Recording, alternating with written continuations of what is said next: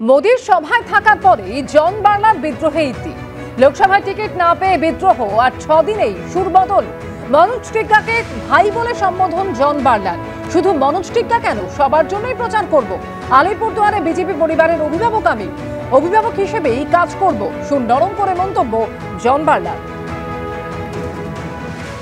अरे मनोज क्या है सबके लिए प्रचार करेगा हम मेरा भाई है है ना आने वाला दिन हम लोग एक साथ है। अरे भाई इतना बड़े परिवार में होता है कोई? कहीं पर तो तुम्हें में हो जाता है। इसको हमारा परिवार है ये मेरा परिवार है। बीजेपी हमारा परिवार और मेरा परिवार में क्या होता है उसको संभालना जोन बरला को ही है। मैं उनका गार्जियन हूँ। गार्जियन हूँ और मैं गार्जियन हिसाब से मैं सभी को संभालूँगा।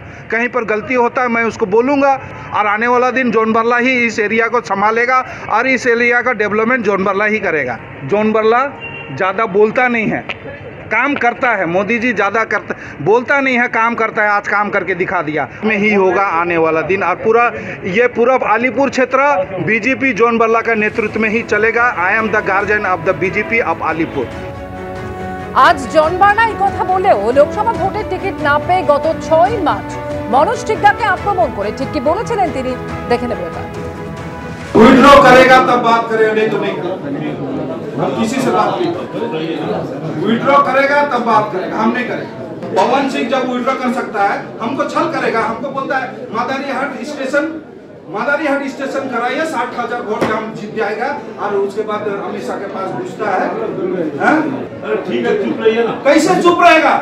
हमको धोखा देगा। हाँ, कैसे चुप रहेगा? हमें और जो ने भोट करवाया टिकट दिलाया जिताया भी। आज ये हमसे छल करेगा। आदिवासी से छल है।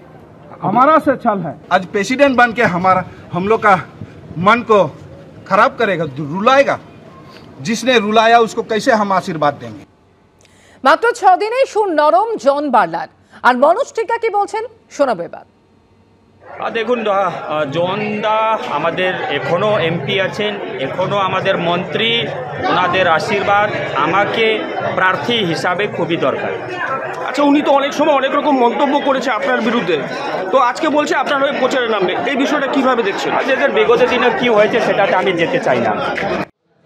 পূর্ব বর্ধমানে টিকিট না পাওয়া ইতিমধ্যেই ক্ষোভ প্রকাশ করেছেন সুনীল মণ্ডল। আর তারপর এবার বর্তমানে যিনি প্রার্থী হয়েছেন, শর্মিলা সরকার চিকিৎসক, তিনি এবার মুখ খুললেন। তিনি বলছেন যে বিবাদ সব জায়গাতেই আছে, সব দলেই আছে।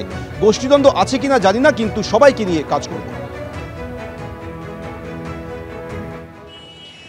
বিবাদ সব জায়গাতেই আছে, সমস্ত দলেই রয়েছে। মানে সেইটা আমি এখনও পর্যন্ত সেইভাবে খুব একটা কিছু পাইনি। আমাকে সব জায়গা থেকেই সবভাবেই আমন্ত্রণ জানাচ্ছে এবং কবে থেকে আমি প্রচার করব সেরকম ধরনের কথাবার্তা চলছে।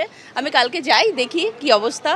আর আমি এতদিন পর্যন্ত যেভাবে কাজ করেছি, আমার ডিপার্টমেন্ট বা আমার স্বাস্থ্য ডিপার্টমেন্ট তো সবাই আমাকে গ্ল্যাডলি অ্যাকসেপ্ট করেছে, সবাই আমার কাজে খুশি। আশা করি ওখানে গেলেও সমস্ত দল, যদি মনে হয় দলের মধ্যেও গোষ্ঠী দ্বন্দ্ব বা কিছু আছে, আমি জানি না এখনও পর্যন্ত ঠিকঠাক। তো আমার মনে আমি সবাইকে নিয়েই কাজ করতে পারব। কারণ এতদিন আমি সেভাবেই করে এসেছি। আপনি চাইলে খোঁজ নিতে পারেন যে আমার সেই রকমই একটা ইমেজ আছে। তো আমি সেটা করতে পারি বলে আমার মনে হয়। এখন দেখা যাক, বাকিটা তো সময় বলবে।